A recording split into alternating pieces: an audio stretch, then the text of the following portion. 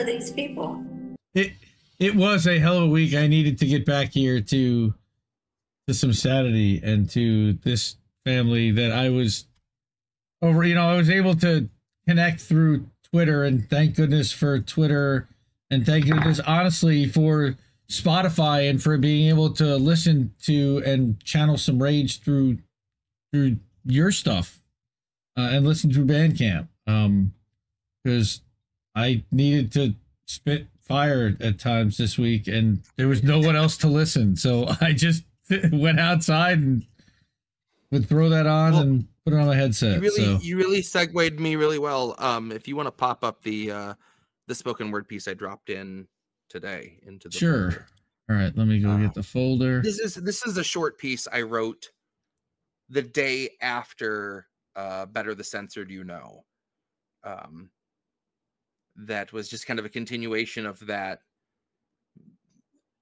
not even disbelief that just kind of disheartened feeling of watching everyone else perceiving events so differently and uh feeling so alone. And thankfully i i know i'm not because i uh i now have such a, a massive of network of people. But it's luckily people who all understand that feeling because at the end of the day in work settings, home settings, wherever, uh, just in public, listening to the radio, watching TV. Once you know, it, it's such an alienating feeling um, because sometimes it feels like you're the only one who's seeing the same thing. Uh, yeah, this is called haunting. Somebody said democracy, and all I heard were screams, echoes of civilians being wrenched out of their dreams to see their families torn apart, their lives so much debris, and no one seemed to hear the sound but me.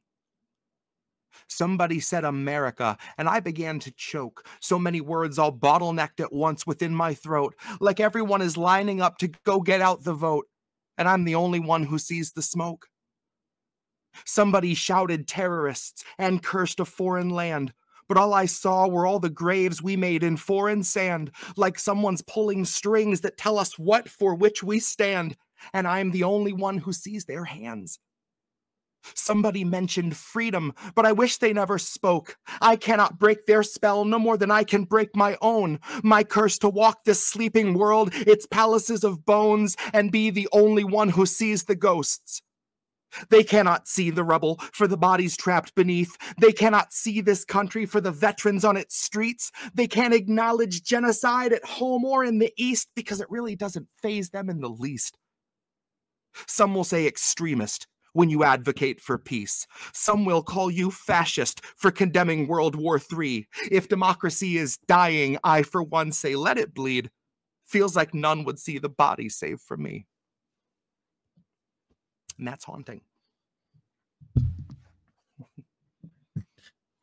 I love the way that it sounds at the end, and that's haunting. see